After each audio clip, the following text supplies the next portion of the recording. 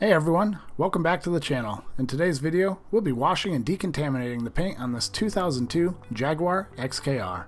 This video is the first of a two-part series, and in our next video, we're going to be polishing the car and finishing it off with a very easy to use ceramic coating.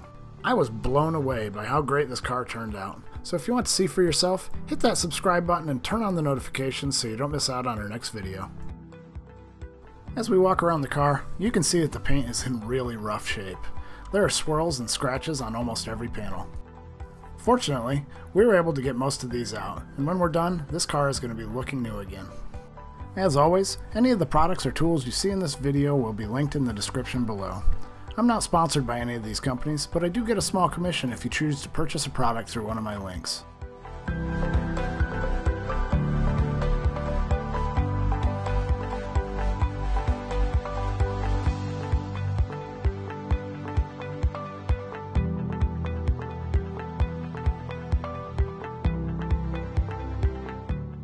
As we get into the wash, I'm going to start by giving the convertible top a good cleaning. If you're doing this at home, I would avoid using a pressure washer so you don't accidentally damage the top.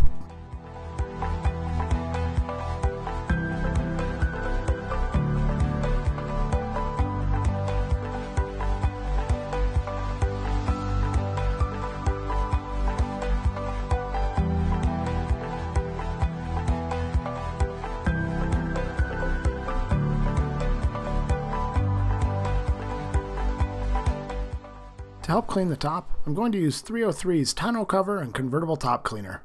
This product is reasonably priced and is safe for both cloth and vinyl tops. I ordered mine online, but if you want to give it a try, you should be able to find it at your local Advance Auto Parts. This product is really easy to use. After rinsing the top, just spray it on and use a brush to work it into the fabric. I like to use a soft bristle detail brush along the seams, and then I'll follow that up with a larger boar's hair brush to clean the bigger sections.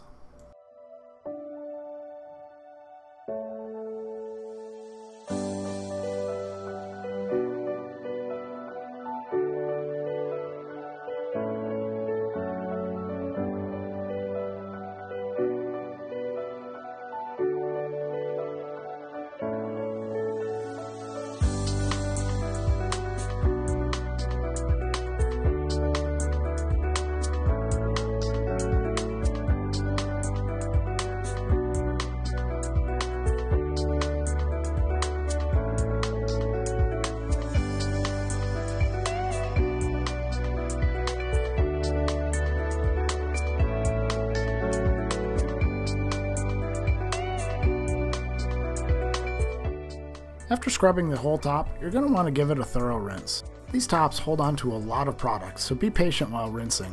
You'll know you're done when you no longer see any more soapy white suds.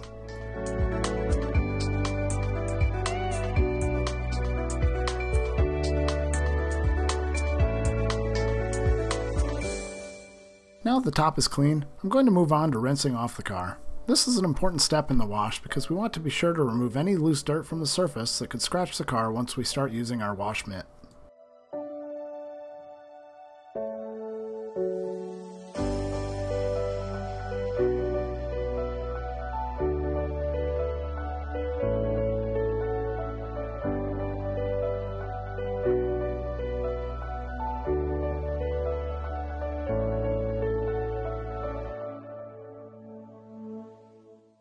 After rinsing the car, I will usually move on to cleaning the wheels. I am going to skip that part for now though, since I just did a video showing my complete wheel cleaning process.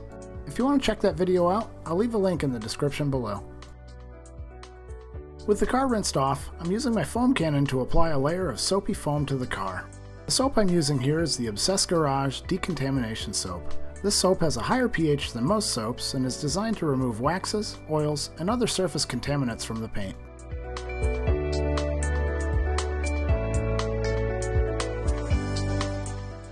After letting the foam sit on the paint for a couple minutes, I'm now going to follow it up with my wash mitt. For this part, I have two buckets set up off camera, one with soapy water for washing, and another with just plain water for rinsing off my mitt. You'll notice here that I'm working in straight lines. After each panel or so, I'll flip over my mitt and use the other side. I'll then return to my buckets to rinse off the mitt and get some fresh soap.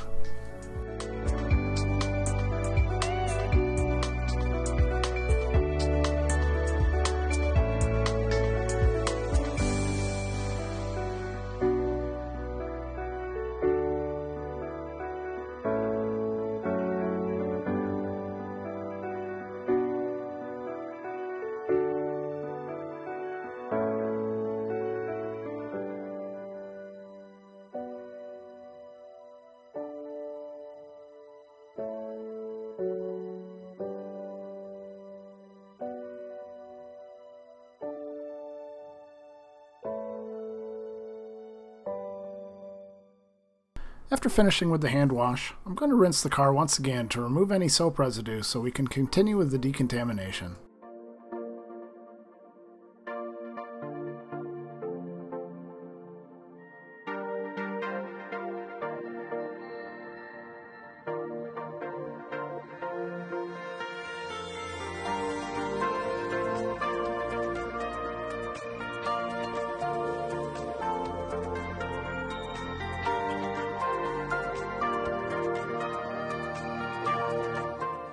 The next step in this process is chemical decontamination. In these clips, I'm using CarPro Iron X to help remove any bonded iron particles that may be embedded into the paint surface. As the iron remover reacts with the iron particles, it'll turn purple and run off the car. We won't be able to see it here since this car is a dark blue, but if you have a lighter colored vehicle, it should be really noticeable. As for how to use this product, it's pretty simple. Spray it on, let it sit for a minute or so, and then rinse it off. Just be careful to not let it dry on the paint. I should also add that this stuff smells awful. A lot of car care products have a really great scent, but this is definitely not one of them. So, if you're going to repeat this process at home, I would not suggest opening this bottle and putting it up to your nose. You will regret it.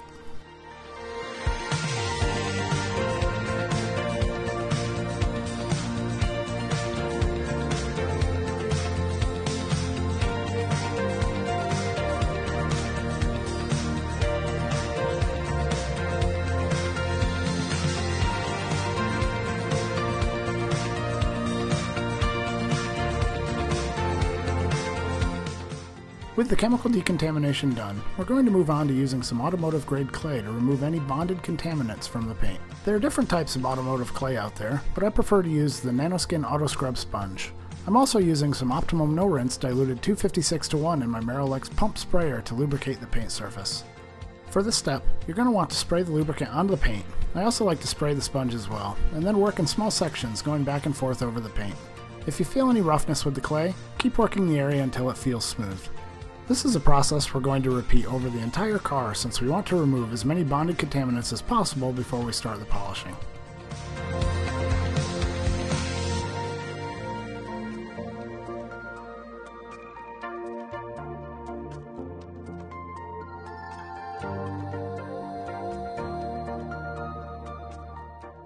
After finishing up with the clay, we're going to give the car one final rinse to remove any remaining residue. We're then going to dry the car off with a microfiber drying towel. There are a number of different towels out there, and picking one has more to do with preference than anything else. If you're in the market for one, I would encourage you to go with a towel that uses a 70-30 blend of polyester and polyamide. A lot of the cheaper towels you'll find use an 80-20 blend, and since they aren't as soft, there's a higher chance that you'll scratch the paint while you're drying the car.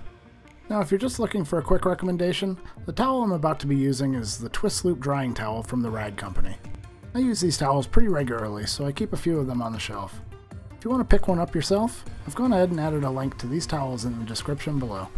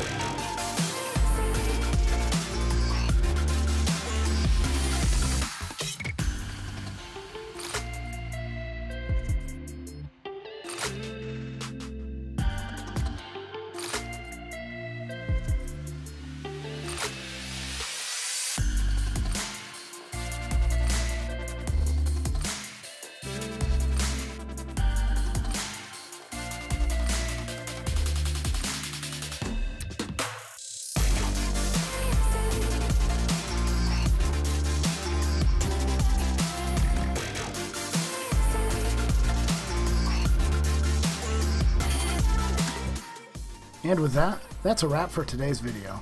If you enjoyed this video, give us a big thumbs up and don't forget to subscribe so you don't miss out on the next video where we will be polishing the paint and applying a ceramic coating. This is Ryan with Allison Detailing. Thanks for watching and we'll catch you in the next video.